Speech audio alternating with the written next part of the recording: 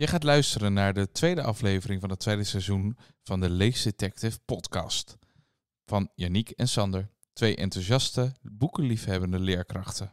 We bespreken vier boeken. Winnen van de Wereld, Project Barnabas, het eerste deel van de Zeven Sleutels en Rugzwemmen.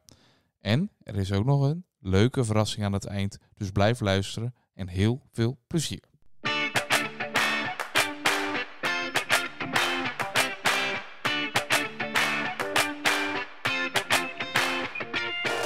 Hallo allemaal en welkom bij een nieuwe uitzending van de Lees Detective podcast. De tweede van dit seizoen, Yannick. Ja, en de eerste bij mij thuis.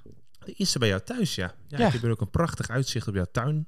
En jij hebt een uitzicht op mij ook, dus dat is ook een prachtig uitzicht. Prachtig. Ja, maar eigenlijk mijn ukulele staat erachter, maar ik weet niet of je dat kan zien. Nee, nee, nu niet. Hoe voelt dat om een keer thuis de podcast op te nemen, Yannick?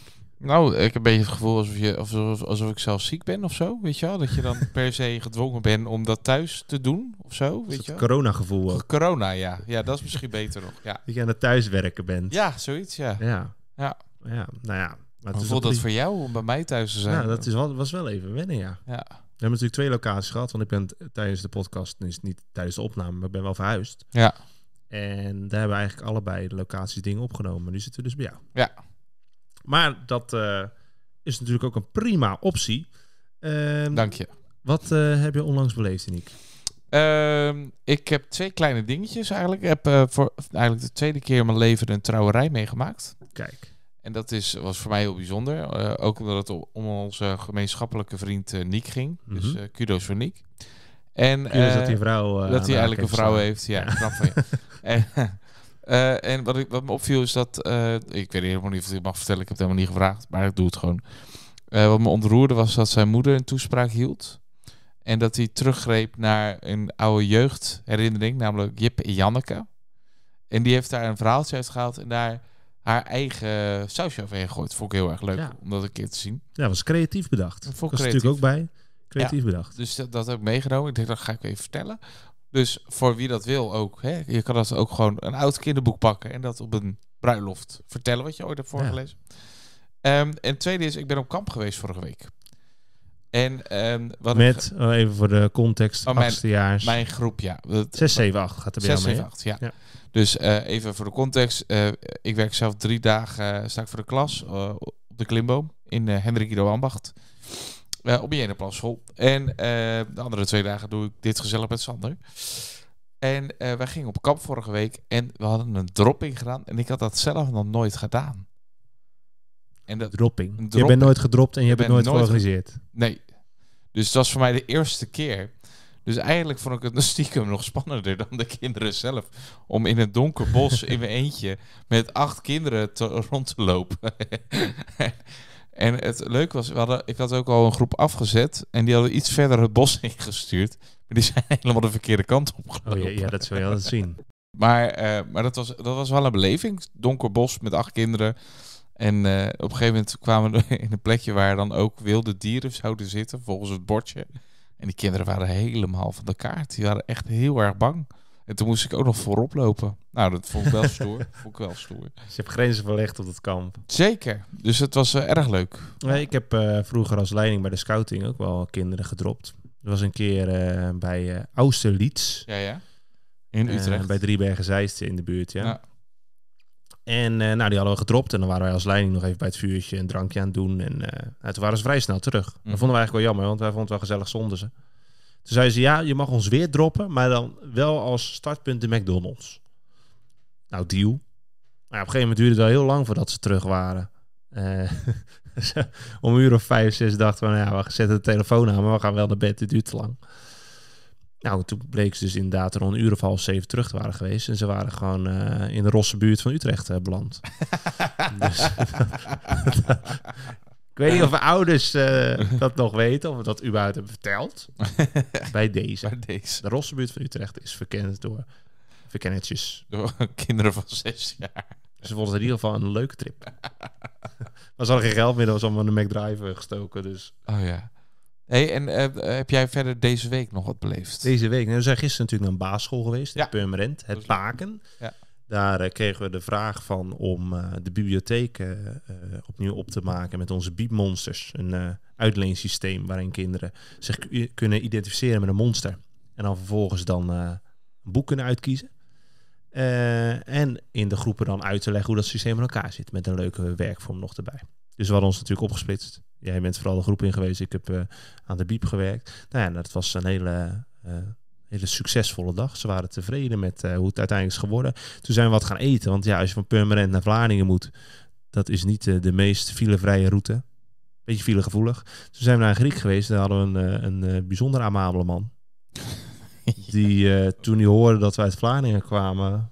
woorden tekort kwamen om te zeggen hoe verschrikkelijk het daar is. Ja. Maar dat bleek dus te komen dat ze ex daar vandaan kwam. Ja. En vervolgens las ze ex veel. Dus lezen was ook verschrikkelijk. Ja. Dus vol- ik denk, eh, volgens mij was het ook vrij pril, begreep ik. Ja, ik heb, zat nog hoog bij die man. ik, ik heb wel het gevoel dat die man eh, niet zoveel meer van zijn ex hield. Dat Nee, gevoel had Dat ik. ik ook. Dus, En eh, op een gegeven moment had hij het erover dat hij kinderen had. En toen ging hij soort ongemakkelijk omheen. Van ja, die zijn dan ook van die ex, maar dat wilde hij nog een keer benoemen. ja. Maar het was wel lekker. Ja. Het was een lekker gesprek. Ja, En lekker eten. ik kan het zeggen. Dus Janique heeft mij gevraagd om de mysterieuze tapas te nemen. Ik ben meestal recht toe recht gaan. Ik wil weten wat ik op mijn bord krijg. Ja. Maar Janique is daar juist niet van. Dus ik heb een keer Janique... eh, ben ik een keer tegemoet gekomen. ja. Het was lekker. Nou, kijk.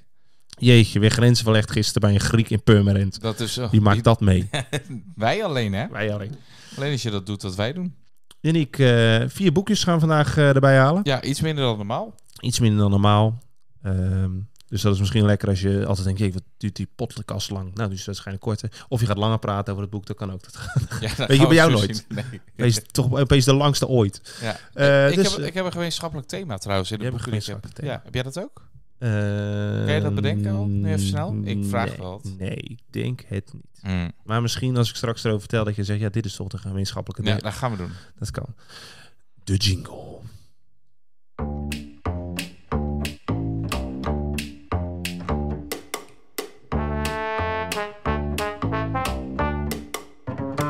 Ja, en eh, Sander heeft dus twee eh, boeken meegenomen. Ehm, Sander, welk boek heb je als eerste meegenomen? Ik was eerst meegenomen een boek dat mij eh, met de kaft al wist te lokken. Mhm. We denken wel eens dat heel veel kinderen op kaften afgaan. Dat is ook ergens wel zo. Zeker kinderen die niet houden van lezen, die moeten het eh, door de kaft aangetrokken worden. Want die hebben al helemaal geen zin om de achterkant te lezen. Nou, bij dit boek is dat aardig gelukt. Eh, het is het boek van Tom eh, Rijpert, De Zeven Sleutels. Het is het eerste deel, Het Pad van de Roverkoning van Pelkmans. Tof. Ehm, en ik had Tom Rijpert al een beetje op de korrel. Ik zag een beetje wat zijn affecties waren. Ik zag onder andere op zijn Instagram dat hij van Dungeons and Dragons houdt. Dat echt gewoon een spel, sp- veel spellen speelt. Mhm. Echt van eh, fantasy is. En eh, ja, ik vond deze kaft en eh, de achterkant vond ik al heel erg tot de verbeelding spreken. Waar gaat het boek nou over? Het gaat dus over een eh, gezelschap dat op zoek moet naar zeven sleutels om eh, het rijk van de roverkoning te bereiken. Kijk. En de roverkoning was echt een eh, draak van een vent. Mhm. Die alles deed om nou, te roven. De roverkoning zegt natuurlijk al. En die was aan het eind van zijn leven zo panisch dat hij denkt... ik moet zeven poorten bouwen... zodat niemand ooit bij mijn eh, schatten kan komen. Nou, die sleutels zijn een beetje... eh, is een beetje komen te verwateren, dat verhaal. Maar er is één kobold op een verdwaalde herberg... eh, die nog één sleutel heeft. De sleutel van de eerste poort. En die heeft dan de hele tijd bij zich. En hij besluit, ja, ik ga dat, gaat me niet alleen lukken. Want hij is al een oog verloren aan de eerste pogingen om dat rijk te bereiken. Dus hij loopt er met een ooglapje in een hele spe- speciale herberg met een pratend hertenhoofd aan de muur. Mhm. Waar Ja. hij continu discussies mee heeft van hou je waf van nou eens dicht. Ja. Eh, en vervolgens krijgt hij dus een gezelschap bij elkaar en eh, kan hij hen verleiden om op expeditie te gaan. Tof. En in dit verhaal eh, komen ze ongeveer halverwege, want het zijn twee boeken. En het volgende deel komt eh, in oktober uit, dus over een maandje al. Dus dat is tof als je nu mee begint, dat je vrij snel eh, kan weten hoe het afloopt. En wat ik echt het sterk aan dit boek vond, was de, eh, de verdieping van de personages. Er waren echt meerdere lagen en hij doet het heel tof met springen vanuit perspectieven en tijden. Dus wat hij bijvoorbeeld eh, wel eens doet, is dat er een, een, iets gebeurt voor een poort. Elke poort heeft ook een bewaker. Mhm. Dus daar moeten ze voorbij komen. Ehm, en dan gebeurt er iets. En dan het volgende hoofdstuk is eigenlijk nog een keer die scène. Mhm. Maar dan vanuit het perspectief van een ander personage. Oh, wat tof. Dus hoe die dat ziet. Ja. Oh, ik zie dat eh, dat fout gaat. Ik moet nu ingrijpen. En terwijl je dan dacht van ja, het was al fout gegaan. Dus dat is hartstikke tof gedaan. Ik heb het wel eens eerder bij boeken gezien en dacht van in- ja, ik snap het wel. Maar gaan kinderen dat snappen? Het is me allemaal net iets te vaag. Die tijdsprongen en eh, eh, het heen en weer gespring dus. Maar ik vond hij, dat hij dit heel duidelijk deed. En toevallig zag ik ook voordat ik eh, de bespreking eh, neerpende op onze site. een post op Instagram waarin hij een heel bord had geplaatst. Met hoe alle personages met elkaar in verbinding stonden. Oh, en, wow. daar was echt belachelijk veel voorbereiding. Oh, cool. Ze zag heel tof, zat heel tof in elkaar. En hij zei dus ook dat dit boek in principe niet direct op Dungeons Dragons was gebaseerd. Dat dat een beetje los van stond. Maar als je een beetje bekend bent met Dungeons and Dragons, dat is een, een rollenspel wat eh, heel veel vrijheid heeft. Ja. Een soort bordspel. Ja, dan ga je wel parallellen vinden. Tof. Maar het is echt een heel tof boek. Ehm, ik denk, ik vind het vrij laagdrempelig voor wat het uiteindelijk bereikt. En dat maakt het heel tof. Nou, wa- wat ik eraan wil toevoegen is eigenlijk dat toen wij zagen dat dit boek uit zou komen, hadden we allebei zoiets. Ja, die moeten we hebben, die moeten we lezen. Ja. Dat was voor ons allebei echt wel een, eh, een ding. Dus we hebben bijna gevochten om wie hem mocht Ja. lezen. En nu, nu ik hoor hoe goed het was, ben ik wel een beetje jaloers. ook lezen. Ik had zelfs ook een beetje, ik vond dat, dat zei ik ook in een bespreking, vond ik wel een beetje gewaagd, maar ik kreeg wel een beetje zo'n Lord of the Rings eh, Ja. gevoel, zo'n fellowship. Lord of the Rings natuurlijk torenhoog eh, eh, favoriet in alles. Mhm. Als iemand eh, Lord of the Rings adoreert, ben ik het wel. Jij ook trouwens, je een hele tocht naar Mordor aan het wandelen. Zeker, ja. Dus, eh, dus dat kan er natuurlijk niet aan tippen, maar die vibe geeft het wel. En dat vond ik hartstikke tof. Ja. Dus in oktober eh, tweede deel. En dan zal die vast ook wel weer eens voorbij komen in de podcast. Hoe dat Verder is bevallen. Ja, nou, sowieso een fellowship die op zoek gaat naar, in plaats van ringen dan sleutels. Ja, op zich, zit wel. op zich ik kan wel wat vergelijkingen trekken. Alleen nu zijn het er zeven en dat is er eentje. Van Sauron. Oh, Maar je weet niet, de roverkoning ko- koning komt vast ook nog voorbij. ongetwijfeld. Denk ik achter de laatste poort. Dat zou wel aannemelijk zijn. Ja. Vertel je, Nick, wat heb jij eh, in petto? Ehm, ik, heb, eh, ik, heb, ik, ik ga het vandaag gewoon heel erg over milieu hebben. Over Oh. milieuactivisten vooral, even heel specifiek. Ben je zelf een milieuactivist? Eh, nee. Denk, nee, ik ben geen je doet wel, activist. wel kleine tweaks in het leven om een beetje tegemoet te komen. Of... Ja, ik probeer wel iets minder vlees te eten. Al lukt dat me niet altijd, moet ik heel, heel eerlijk bekennen. En eh, sowieso let ik ook op bijvoorbeeld met gasverbruik en dat soort dingen. Dus ik ben, wel, ben er wel redelijk... En, en afvalscheiding. Maar ik denk nog niet dat ik ver En je vertelde gisteren toevallig dat je heel lang niet hebt gevlogen. Ja, dat ook. Maar dat Dus is dat niet ook. bewust. Dat is niet bewust, maar... dus dat is niet bewust, maar je doet ook bewust met dingetjes in huis wat Ja. minder. Ehm, en ik heb het eerste eh, boek gaat eigenlijk meer over een meisje dat uiteindelijk gaat besluiten om in actie te komen. En dat heet Winnen van de Wereld. Van Mark Bode. Dus dit jaar uitgebracht eh, bij Lemniskaat. En eh, het gaat over Janna. En Janna zit al heel lang op de middelbare school. Is eigenlijk een beetje een grijze muis. Ze heeft haar beste vriendin. En die beste vriendin is heel dominant. En die probeert haar altijd een beetje te onderdrukken. En die noemt haar ook aardbei. Want Janna heeft rood haar. Dus, dan, dus dat is dan haar bijnaam. En eigenlijk vindt ze het niet leuk. Maar ze durft eigenlijk niet zoveel van te zeggen. Totdat ze op, een op een gegeven moment... Ze voetbalt ook. En ze wordt getackeld door iemand. En die helpt er overeind. En ehm, op een gegeven moment raakt ze aan de praat. En ze zegt, ja, je moet dus langskomen bij een activisten, milieuactivistenbeweging. Eh, en die heette de Rebels. En dan gaan ze daarheen en dan, dan ontmoet ze heel veel toffe dingen. Ze ontmoet de man of de jongen van de, van, van de dromen. Knap, echt heel knap. Die heet Camille. En die heet eigenlijk Camilio. Dat is een Italiaanse jongen. Ja, en daar valt ze eigenlijk best wel heel erg snel op. Ehm, en op een gegeven moment gaan ze een actie doen tegen een parkeergarage die, ge, die, eh, die, ja, Gebouwd wordt. die gebouwd wordt. Ja. En ehm, ja, op een gegeven moment zijn ze bezig met die actie. En dan komen ze er eigenlijk achter dat haar eigen vader die parkeergarage gaat bouwen. Oh, jee, jee, En daar begint het verhaal eigenlijk Ja. mee. En daarna ontstaan er heel veel liefdesverhalen en onzekerheden. En ze heeft op de dag dat ze dan die staking gaat doen, heeft ze ook haar voetbal afgezegd met haar beste vriendin. Omdat ze ziek was. Oh jee. Maar ze wordt opgepakt door de politie en er worden heel veel foto's van gemaakt. Ze Ja. staat in de landelijke krant. Ja, dat gaat natuurlijk mis. Ja.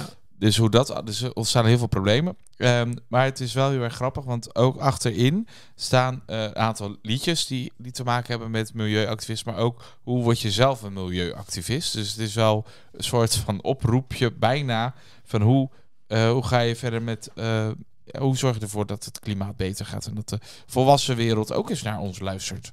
Dus dat is Winnen van de Wereld van Mark Bode. En ik vond het wel echt een heel erg leuk boek. Heel erg vermakelijk. Het hield je altijd wel bezig. Ja. Dat vond ik wel tof. Er staan bij de tips ook dat je op de A12 moet gaan staan, of niet? Nee, dat was eh, nou, misschien, dat weet ik niet eigenlijk, moet ik heel eerlijk bekennen.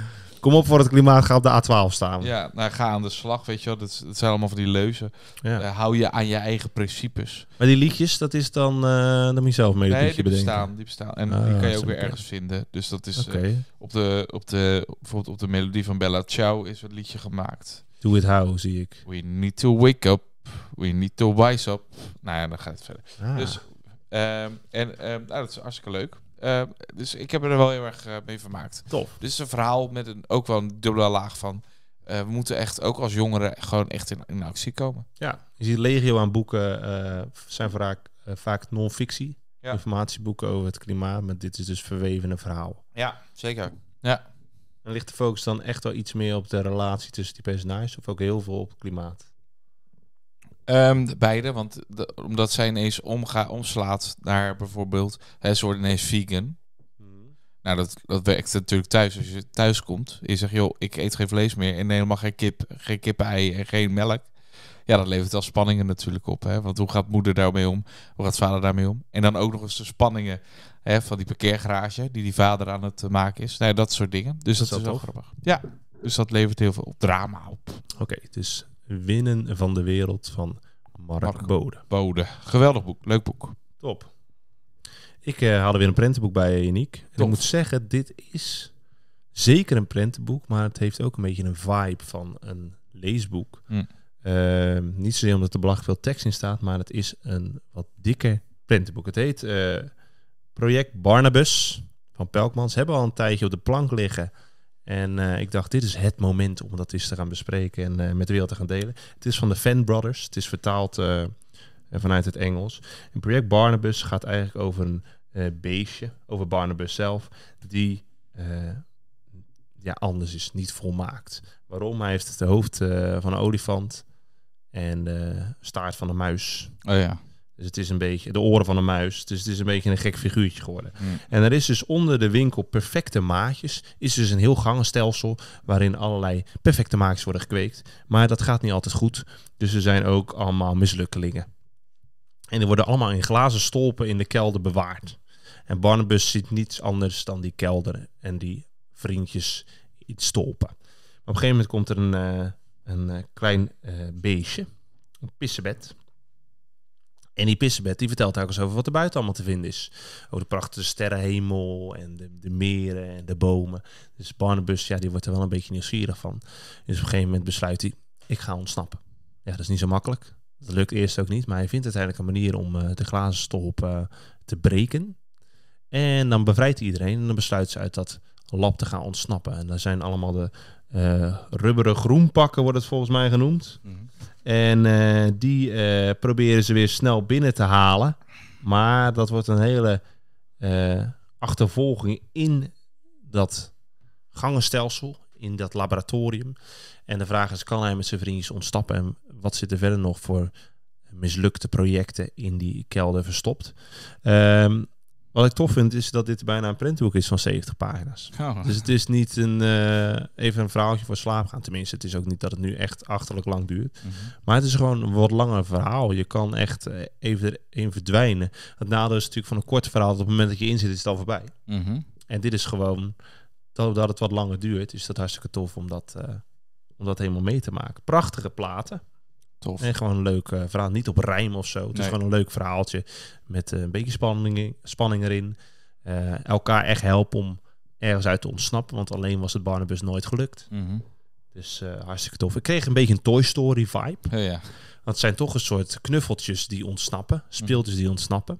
Dus als je daarvan houdt, dan ga je dit ook hartstikke leuk vinden. Of als je zoon of dochter daarvan houdt, zal hij dit ook vast een leuk eh, prentenboek vinden. Project Barnabas van de Fan Brothers en Pelkmans. Klinkt ook wel, wel weer heel erg tof. Twee toffe boeken. zeker. Dankjewel. Ik ga toch nog eens even nadenken over een een gemeenschappelijk thema. Ja, Dat is wel een uitdaging. eh. Ja, dat denk ik ook. Hm. Ehm, jij hebt er nog één in petto. Rugzwemmen van Mark ter Horst. Kijk. Rugzwemmen. Rugzwemmen gaat over Noor. En het leuke, eh, het verschil tussen winnen van de wereld is dat ehm, Janna, die, die wordt uiteindelijk eh, klimaatactiviste. Maar Noor is dat, is dat, heeft dat van huis uit heel erg meegekregen. En die wordt er eigenlijk een beetje scheidsziek van. Hè, die van die ouders die iedere keer protestmarsen lopen. Dan moet ze weer een of ander stom kostuum. En dan, weet je, uiteindelijk, eh, wat lost het nou eigenlijk uiteindelijk op, weet Ja. je wel? En ehm, Die eh, ziet het nut er niet meer van in. nou, dat wel. Want weet je, ze eet geen vlees en dus ze vindt het ook stom. Maar ergens denkt ze, ja, jezus, moet ik weer naar zo'n protestmars. En wat nu ook tegenstaat is, het wordt zomervakantie. En haar beste vriendin gaat naar Griekenland met vliegtuig. En zij mag niet in een vliegveld, bij een vliegveld in de buurt komen. Dat is slecht voor het milieu. Ja. Nou goed, Noor zit dus met heel veel dingen. En ehm, haar ouders kunnen ook dit jaar niet op vakantie. Niet eens naar Texel. eh, wat ze wel misschien heel graag wilt. Maar dat kan niet, want er wordt het dakkapel gezet. Dus zij moet thuis blijven. En haar ouders hadden voor op het moment dat die dakkapel geplaatst worden, hadden ze voor Noor wel iets anders bedacht. Namelijk een kamp met allemaal on, onbekende mensen. Daar Mhm. moet, daar moet eh, Noor natuurlijk eh, daar moet, daar moet ze heen. En ehm, ja, dat wil ze eigenlijk niet. Want ze gaat eens kijken op, dat, eh, op de site van de kamp. Ja, en dan blijkt dus eigenlijk dat ze een beetje depressief verleden hebben. Haar ouders maken daar, haar daar een beetje, een beetje zorgen om. Dat zij een beetje depressief begint te worden als ze in de basisschool speelt had. En Noor denkt, ja, dan moet ik weer naar, aan mezelf werken op een kamp. Daar heb ik echt geen zin in. En ehm, toen hebben ze de afspraak gemaakt met, eh, met de ouders... dat als ze de komende keren mee gaat doen met die acties... dan hoeft ze niet op kamp. Nou ja, goed, het lukt bijna helemaal. Dan gaat ze ook mee naar die acties en ze ruimt eh, dingen op op het strand en zo. Maar op het laatste moment wordt ze zo pissig, omdat ze toch in, weer in zo'n pak moet. En ze had expliciet gezegd dat ze het niet ging doen. Ze loopt weg. Nou ja, goed. En daarna wordt het ruzie. En gaat ze, eh, moet ze toch op dat kamp. Ondertussen heeft ze een nieuwe vriend, of eh, eigenlijk een, een, een, jongen, een nieuwe jongen in de klas. Die zijn moeder is, eh, is overleden en die, is, die vertelt hij ook gewoon heel erg open. En hij praat ook over alle wereldproblematiek, alsof het niks is, Tim. En eh, ja, Noor vindt Tim helemaal niet knap, want ze valt niet op blond en hij is blond. Maar eigenlijk vindt ze toch wel stiekem een beetje interessant. Nou, en de vraag is een beetje van, ja, hoe gaat dat verder? Want ik kan nu heel veel nog gaan vertellen wat er verder gaat gebeuren, maar ik denk dat ik hier gewoon stop. Want eh, het probleem is, ze moet op kamp, Eh, ze wordt afgezet bij de trein en dan gaat haar, gaat haar moeder weg. En de vraag is, wat gaat ze dan doen? Gaat ze op kamp of gaat ze niet op kamp? Nog verder weglopen. Dat is de vraag. Ja, precies. Dus Eh. de, wat je zei, gemeenschappelijke delen, klimaat. Ja, zeker. Ja. Want Noor staat wel voor het klimaat. En ze, wordt, ze werd ook op de basisschool Greta genoemd al. Weet je wel? Dus, Oh, ja. dus, Thunberg. Thunberg, ja. Dus, dus, dus dat was wel al een ding. Dus ze staat wel voor, maar ze wilde niet het actie voor hoeven voeren. Niet de hele tijd erbij stil te staan. Daar werd ze maar depressief van. Nee, dus ze houdt het liever bij zichzelf. Ja. Van ik zorg dat ik geen vlees eet en dergelijke. Maar ik hoef niet altijd met een bord op de straat te staan. Ja, De A12. ja. Nou, en hoe loopt dat af? Weet je, al die spanningen weer die erbij komen. Ja. Heel tof. Ook weer een heel tof verhaal van eh Mark de Horst. Die wel meer eh, boeken heeft geschreven over klimaat. Eh beste is denk ik wel Palm op de Noordpool. Dus dat, maar goed, gewoon hartstikke, hartstikke tof boek. Oké. Nou, hartstikke tof. Zijn we toch weer vier boeken rijker. eh. Ja, Sander. Ehm, dan wil ik verder nog iets delen Kijk, als afsluiten. Want we willen natuurlijk eh, zo makkelijk mogelijk iedereen bereiken met al deze besprekingen sprekingen en dergelijke. Dat doen we al via de nieuwsbrief. Een nieuwsbrief doen we niet al te vaak eruit. Eh, en we willen het wat laagdrempeliger maken. Dus we hebben een WhatsApp community aangemaakt. WhatsApp community. WhatsApp community. Daar kun je eh, deel van uit gaan maken. En het is eigenlijk vrij simpel. Het is gewoon een soort eh, manier om pushberichten door te sturen. Dat elke keer als wij iets op de site zetten, dat je er gewoon even een meldingje van krijgt met een linkje. En dan kan je één keer op klikken, even kijken of het wel is. En dan eh, kun je eventueel een duimpje achterlaten. Het is niet een, een app waarin allemaal mensen gaan spreken. Dat staat ook uit. Dus het is echt alleen vanuit ons eh, updates geven van dingen die we doen. Boekbesprekingen, maar misschien ook eens een foto van een, een locatie waar we zijn. Of een kort filmpje. En eh, nou, als je daar altijd uit eerste hand de informatie wilt hebben, dan is de community heel eh, erg leuk, denk ik. Ja. Eh, er staat een link in de Spotify-beschrijving. We willen het ook op onze website en op onze Instagram zul je dat kunnen vinden. Dus doe dat vooral. Voel je niet verplicht. Maar als je denkt, nou, dat is lekker laagdrempelig en dat vind ik leuk, kom er vooral bij. Is er, eh, is er een mogelijkheid dat we daar al een winactie aan verbinden of zo? Dit is even, even off scratch hoor. Dit is gewoon even, gewoon, Ja, gooi ik gewoon in. Dan, dat we dat verdelen onder de, Onder de commu- WhatsApp community. WhatsApp community Ja, nee, dat kan wel. Maar dan moeten we wel een deadline stellen. Het is vandaag de eh 14e, geloof ik. Hè? Ja. Waar Zullen we zit hij erop? Even kijken hoor, of het 14 is. Al de 15 15e de al. 15 is het al, ja? Jeetje. 15 september 2023. Ja. En we verdelen... Gewoon een mystery box knallen we eruit. Ja, Kan voor, het voor de community. En dan doen we 15 oktober. 15 oktober, dus je hebt een maandje om erover na te denken. Ja, toch? Ja, dan eh, op 15 oktober verdelen we gewoon onder de leden van onze WhatsApp community Ja. gewoon een box. Ja. Kan ons het schelen. Geven we gewoon weg. Doen we. Dus eh, bij deze, als je dat leuk vindt, vooral doen.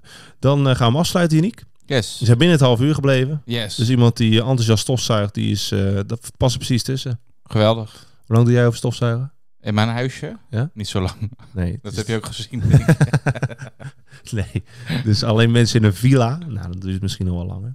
Of de was doen. Was ophangen. Doe je dat in een half uur? ja, dat is zoiets. Ja. Ja. Ja. Voor de was ophangen is dit de ideale tijd. Ja. Ik kreeg ook eh, de reactie van Steven Poot hè, dat dit ideaal is om te luisteren tijdens de was doen. Oh, Dus Steven Poot, bij deze dankjewel. We hebben al twee vrienden genoemd. Wat leuk. twee vrienden Nou, genoemd. tof.